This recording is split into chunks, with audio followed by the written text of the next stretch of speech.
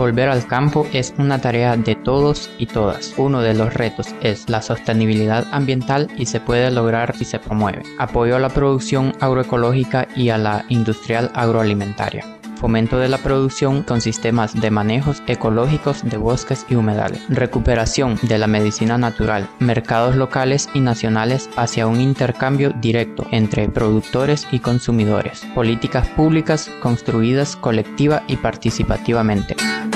Este es un mensaje de la Coordinadora Latinoamericana de Organizaciones del Campo y la Vía Campesina en el marco de la campaña Volver al Campo.